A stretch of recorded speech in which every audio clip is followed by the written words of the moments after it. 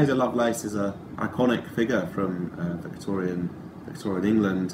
She's best known for the work that uh, she did with Charles Babbage, who is uh, famously known as, in reality, the inventor of, of the first computer. Uh, Babbage constructed first something called a difference engine, and then and had the idea for something called an analytical uh, engine, which was uh, a computer that could um, actually do, do do any kind of computation. And uh, she worked with him and, and, wrote about it. And her kind of her claims to fame are, are, twofold. First of all, that she in effect wrote the first computer program, so uh, a series of instructions that allowed or would have allowed the uh, analytical engine to, to work out certain certain numbers. It was never actually built, but uh, uh, but, but, but, it was the program was written.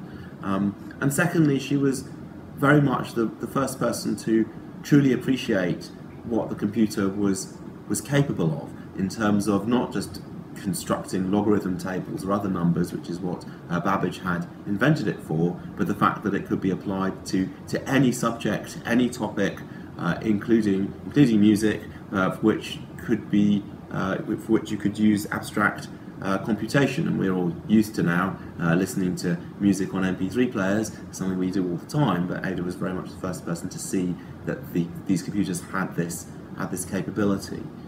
We've named both of our daughters uh, after after women scientists. Our older daughter is called Ada after Ada Lovelace, and our, our younger daughter is called uh, Rosalind after Rosalind Franklin.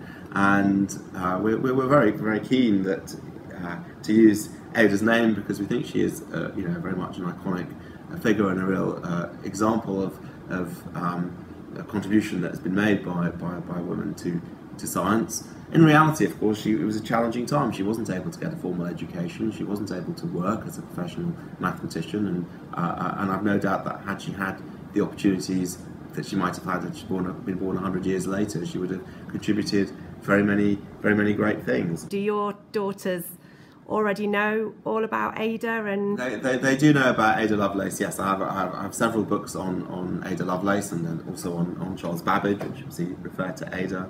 And one of the books contains all of her letters and one of the one of the great things about her is that you know she, she wrote beautifully. You know she had a mind that you know extended beyond mathematics and science but also also her use of languages is, is fantastic and, and her writing is, is a real pleasure to read